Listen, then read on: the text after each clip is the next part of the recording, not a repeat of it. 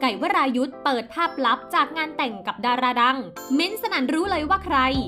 สร้างความฮือฮามากเลยทีเดียวค่ะ หลังผู้จัดละครคนดังไก่วรายุทธ์ได้ออกมาเปิดเผยความลับที่ไม่เคยบอกที่ไหนมาก่อน ผ่านรายการ Woody FM ว่าเคยเข้าพิธีแต่งงานกับดาราชายชื่อดังคนหนึ่ง โดยได้ไปแต่งที่ประเทศญี่ปุ่น พร้อมกับเผยว่าเป็นความรักที่สวยงาม คบหากันได้ 4-5 ปี จึงได้แต่งงานกัน ซึ่งทางแม่ของฝ่ายชายก็ยอมรับด้วย และถึงแม้ตอนนี้จะเลิกรา แยกทางกันแล้ว แต่อีกฝ่ายยังมีความหวังดีให้เสมอ พร้อมบอกอีกว่าฝ่ายชายนั้นไฟเขียว ให้เผยรูปในงานแต่งงานได้ โดยล่าสุดค่ะ 23 สิงหาคม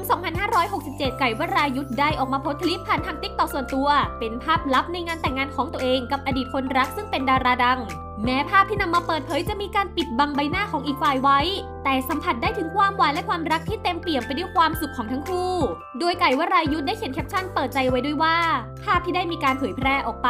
เป็นการเต็มใจของเราทั้งสองคน และมีการบอกกล่าวกันเรียบร้อยแล้ว ขอบคุณทุกคนที่เปิดใจเข้าใจ และยอมรับในความรู้สึกดีๆ ที่ไก่และน้องมีให้กันมาอย่างยาวนาน ความรักมีหลายรูปแบบ และมีหลายบทบาทบนความสุขนั้น ขณะที่ชาวเน็ตต่างเข้ามาคอมเมนต์ชื่นชมในความรักของทั้งคู่ บางรายก็เข้ามาสอบถามด้วยว่าฝ่ายชายนั้นเป็นใคร